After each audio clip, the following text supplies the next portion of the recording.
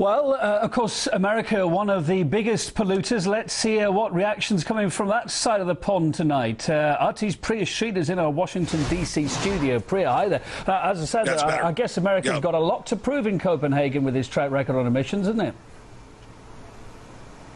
That's right, Kevin. Well, there are still a lot of questions about global warming, and the ClimateGate scandal definitely added fuel to that fire. So, what's going to happen in Copenhagen? Is anything actually going to get accomplished? Well, joining me to help talk about just that is radio host Alex Jones. Alex, thanks so much for joining me.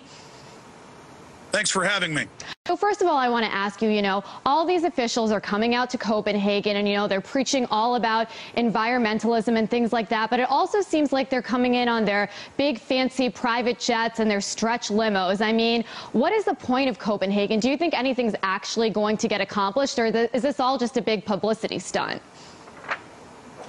That's right. Uh, hookers from all over the planet are traveling there. Caviar, hundreds and hundreds of limos, uh, hundreds of private jets coming in as the world elite uh, meets to establish their own private global corporate government where carbon taxes on carbon dioxide that plants breathe, that plants live off of, uh, will be taxed among other things. And yes, something is going to happen in Copenhagen. The Environmental Protection Agency has announced today in the New York Times they are going to list carbon dioxide, part of the life cycle on this planet, uh, as a toxic waste and start taxing it.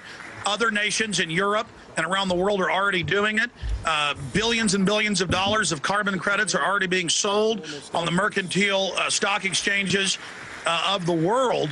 Uh, and and though the the hoax of man-made climate change, it was warming. Now they've changed it to climate change because the Earth's getting cooler again, part of a natural uh, cycle based mainly on the sun.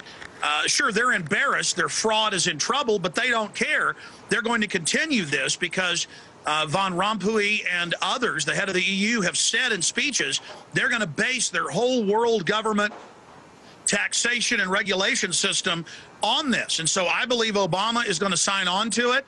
Uh, I believe that uh, they're going to agree to sign on to future agreements. And even if the U.S. Senate won't ratify it, they are still just going to have the bureaucracy uh, implement it. Arnold Schwarzenegger in California couldn't get the legislature to tax televisions and ban TVs above 40 inches. So he just used the bureaucracy, the energy department in the seventh largest economy in the world, California, uh, as he calls it, uh, to go ahead and start that taxation. And, and so this is already the, happening. The, do you think that the officials are going to address the ClimateGate scandal in Copenhagen?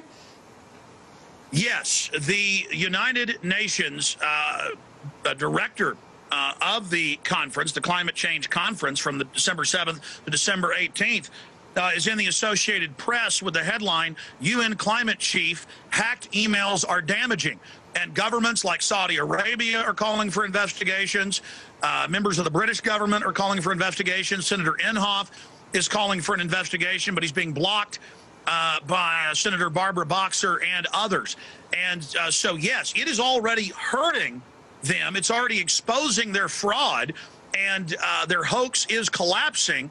Uh, but they don't care if the emperor's been caught with no clothes. They are just going to continue on with their fraud. But uh, over the years, we're going to be able to defeat them because these climate gate emails being released proves that they know the Earth's getting co cooler, proves that they know it's not man-made and part of the natural cycle. So this is the beginning of the end. But I expect for them to put a good face on it, act like everything is okay, and go ahead and get most of the 191 countries in attendance uh, to go ahead with it. Well, Mr. Jones, thank you so much for your view as always. Unfortunately, that's all the time we have for right now. But I'll be back here in another hour with another live update. But for now, Kevin, it's back to you. Yeah, Priya, thanks for that. And of course, much more coverage on uh, what's going on in Copenhagen over the coming days and the coming weeks. Thanks very much.